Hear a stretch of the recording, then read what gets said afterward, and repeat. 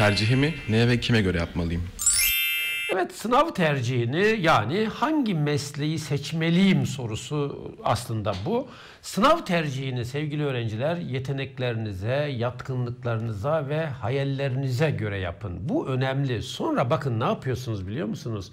Ya okuduğunuz, kazandığınız okulu bırakıyorsunuz ya mezun olduktan sonra diplomayı terk ediyorsunuz. Yani başka iş yapıyorsunuz. Bunun örnekleri çok fazla. Bu sebepten dolayı kendinizi iyi tanıyın ve en iyi yapacağınız mesleğe yönelin. Korkularınızdan da bu konuda arının. Yetenek insanın aşamayacağı hiçbir engel olmaz. Yani yetenekleriyle bir insan her engeli aşar. Bunu unutmayın. Teneffüslerde ne yapmalıyız? Evet, teneffüslerde ne yapmalısınız? Tabii ilk akla gelen dinlenmeliyiz gibi bir şey geliyor. Peki yani siz e, derslerde aldığınız bilgileri kafanızdan bir arkadaşınızla konuşsanız bu sizi yorar mı? Yormuyor yapılan araştırmalara göre. Neden biliyor musunuz? Ders çalıştıktan sonra çalıştığınız konuyu biriyle analiz etme, onunla konuşmayla yemek yedikten sonra yürüyüş yapmak aynı şeydir. Siz yemek yedikten sonra yürüyüş yaparsanız rahatlarsınız. İşte bir bilgiyi aldıktan sonra bir arkadaşınızla onun üzerinde konuşur, analiz eder, görüş alışverişinde bulursanız da zihniniz rahatlar. Emin olun orada yorulmazsınız. Ve dediğimiz gibi aslında teneffüs tipik bir mola kavramının içerisindedir. Çalıştıklarınızın üzerinde durmayı beraberinde getiriyor. Geceleri ders çalışmayı daha çok seviyorum. Bu doğru mu? Evet bu konuyla ilgili çok sayıda farklı görüş var. Ama bilinen bir gerçek var ki insanın yaratılışındaki o genetik şifre aynen şöyledir. Gündüz öğrenmeye, gece dinlenmeye uygundur. Bu sebepten dolayı içinde bulunduğumuz çağda öğrencilerin gündüz değil de gece çalışmasındaki ana etken beyinlerinin daha iyi çalışmasıyla alakalı değil uyaran sayısı çok az gece. Yani sizi biri telefonla arayamaz. Yani dışarıda gürültü azalmıştır. Bu sebepten dolayı eğer siz gündüz çalışma olanaklarını oluşturabiliyorsanız lütfen gündüz çalışın ve gece dinlenin. Biyoritminiz, beden ritminiz, zihin ritminiz böyledir çünkü.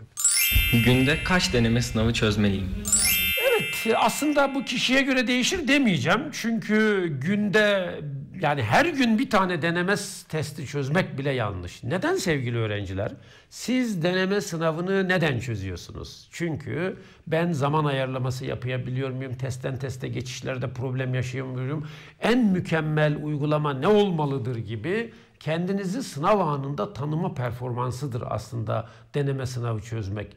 Bu açıdan dolayı bir gün deneme sınavı çözün, ertesi, ertesi gün çalışın, ondan sonra bir daha deneme sınavı çözün. Yani bu şekilde yapın. Ama öğleden önce bir tane, öğleden sonra bir tane, akşam bir tane çözdüğünüzde bunun bir faydasını görmeyeceğinize emin olunuz. Süleyman hocanız olarak özellikle bunu unutmamanızı rica ediyorum.